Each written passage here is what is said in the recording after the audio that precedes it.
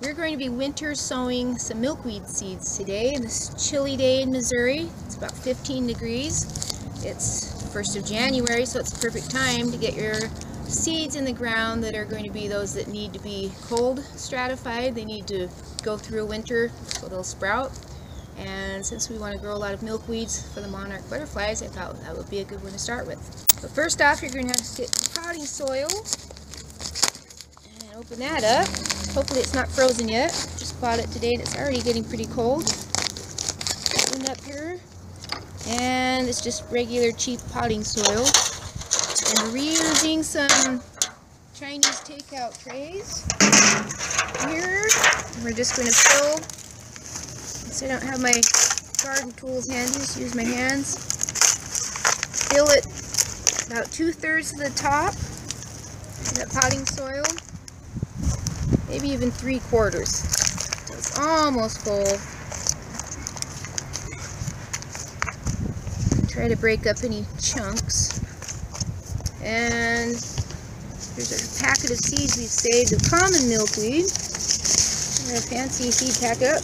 There we go. I'm just going to sprinkle those on the top here. Try to space them out. They don't have to be spaced too well because you're just going to be transplanting them anyway. And they probably won't all sprout since they've been in the freezer for a couple years. So, so you see the seeds. Try to evenly distribute your seeds. And then I'm going to go over the top with them. Pat it all down really well. You really want, when you're sowing seeds, you need to have good soil to seed contact. The wind's blowing. You hear things rolling around. It's a little cold, that's for sure. Okay, now I have my watering can. I'm going to water this all down. And then, just have little lids. You can use a water, water jug your milk jug, whatever you have. You just cut those in half and then you take them. But I'm using this because it's what we had handy. I'm going to put the lid on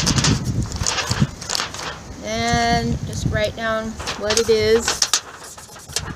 My Sharpie will work in the cold. Write common milkweed on there. And then the date that I sowed it. it is the 3rd today, January 3rd. And I'll give those a good soak. And you just leave it outside till spring. When it starts to warm up, you keep checking it. And then when you notice that they're greening up, then you take your cover off. And then once they get their two, they get the seed leaves first, and then they get the true leaves. Once they get the first set of true leaves, that's when you're going to prick them out into a bigger pot so they can grow through one season or else put them out in the garden.